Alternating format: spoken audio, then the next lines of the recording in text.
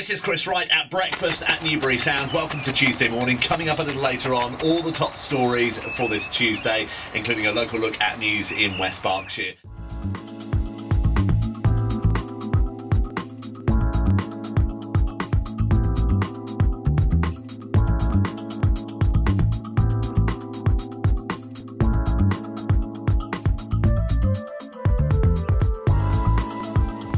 Worked at other stations, larger stations at a regional and a national level. I really enjoy working at the local level. It's really good fun. Um, it's quite fast paced, especially in sales and marketing. Um, we're always out and about on the road, we're out all day. Um, we're meeting new people all the time, so you've got to be a people person. We have such a variety of different things to do. But because we're a small team, we have to, you know, work hard sometimes, but we are like a family.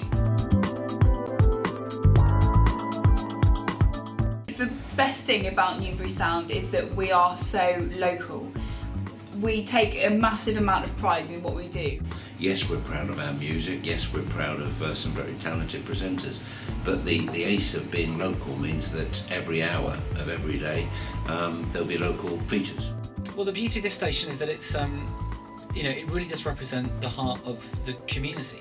You know, we, we, we live the life of West Berkshire, and and I think that's really important when that comes across on, on the radio. The lantern procession in Newbury Town Centre, and everyone kind of really had a good time. And we thought there'd only be a few people there, and actually it turned out there were hundreds. So another high point would be something like when we raise more toys than we've ever done in the Christmas toy pilgrim. The ultimate for me was uh, going to Denison Barracks and uh, being part of the army. And it made a really good and engaging radio feature as well.